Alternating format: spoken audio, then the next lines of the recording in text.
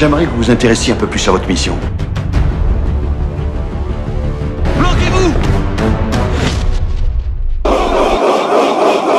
N'ayez pas peur, ce sont des amis. Vous êtes sûr que ce sont des amis?